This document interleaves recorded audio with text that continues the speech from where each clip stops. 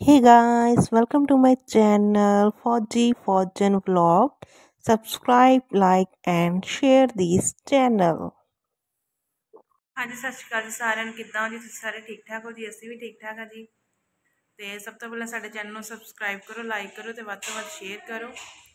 ਤੇ ਅੱਜ ਹੈਗੀ ਆ ਜੀ ਮੇਰੀ ਡਿਲੀਵਰੀ ਤੇ। ਡਿਲੀਵਰੀ ਲਈ ਅਸੀਂ ਆਏ ਆ ਜੀ ਹਸਪੀਟਲ ਮੈਂ ਅੱਜ ਐਡਮਿਟ ਹੋਈ ਆ।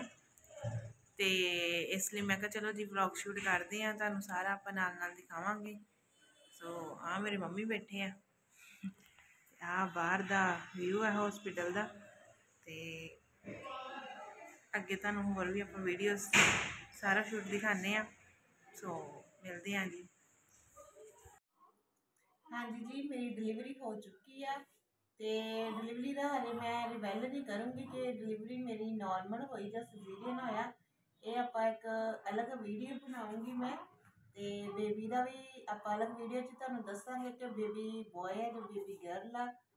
ਸੋ ਅੱਜ ਤੇ ਮੈਂ ਤੁਹਾਨੂੰ ਇਹੀ ਦੱਸੂਗੀ ਕਿ ਤੁਹਾਨੂੰ ਤੁਹਾਨੂੰ ਪਤਾ ਸੀਗਾ ਕਿ ਮੇਰੀ ਪ੍ਰੈਗਨੈਂਸੀ 'ਚ ਕੰਪਲਿਕੇਸ਼ਨ ਸੀਗੀਆਂ ਕਾਫੀ, ਤੇ ਇਸ ਲਈ ਮੈਨੂੰ ਥੋੜਾ ਅਰਜੈਂਟ ਹੀ ਮੇਰੀ ਥੋੜਾ ਡਿਲੀਵਰੀ ਟਾਈਮ ਆ ਗਿਆ ਸੀਗਾ। ਇਸ ਕਰਕੇ ਮੈਨੂੰ ਅੱਜ ਮੇਰੀ ਡਿਲੀਵਰੀ ਸੀਗੀ। ਸੋ ਬਹੁਤ ਸੋਹਣਾ ਐਕਸਪੀਰੀਅੰਸ ਸੀਗਾ ਇਹ ਲਾਈਫ ਦਾ।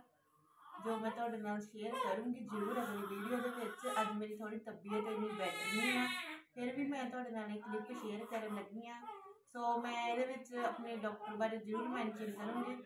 ਕਿ ਗੁਪਤਾ ਹਸਪੀਟਲ ਆ ਹਸਪੀਟਲ ਦਾ ਨੇਮ ਤੇ ਡਾਕਟਰ ਰਿਚਾ ਗੁਪਤਾ, ਜਿਹੜੀ ਮੇਰੀ ਗਾਇਨੋਕੋਲੋਜਿਸਟ ਡਾਕਟਰ ਸੀਗੇ, ਉਹ ਬਹੁਤ ਹੀ ਜ਼ਿਆਦਾ ਨਾਈਸ ਸੀਗੇ।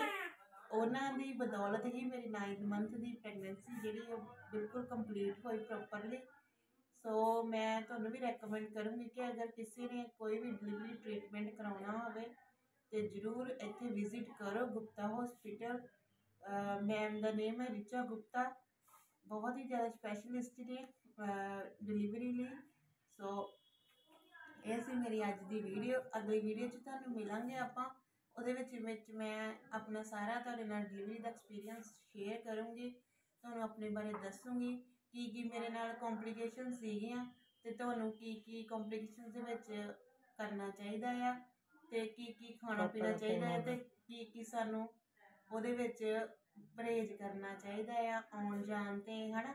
ਇਹ ਸਾਰੇ ਤੁਹਾਨੂੰ ਤੁਹਾਡੇ ਨਾਲ ਮੈਂ ਗੱਲਾਂ ਕਰੂੰਗੀ ਜ਼ਰੂਰ ਤੇ ਮਿਲਾਂਗੇ ਜੀ ਤੁਹਾਨੂੰ ਇਸੇ ਲਈ ਆਪਾਂ ਅੱਜ ਦੀ ਵੀਡੀਓ ਐਂਡ ਕਰਦੇ ਹਾਂ। ਮਿਲਾਂਗੇ ਤੁਹਾਨੂੰ ਅਗਲੀ ਵੀਡੀਓ ਦੇ ਵਿੱਚ ਤੇ ਸਾਡੇ ਚੈਨਲ ਨੂੰ ਪਲੀਜ਼ ਲਾਈਕ ਸਬਸਕ੍ਰਾਈਬ ਤੇ ਸ਼ੇਅਰ ਕਰਨਾ ਨਾ ਭੁੱਲਿਓ। Bye bye everyone.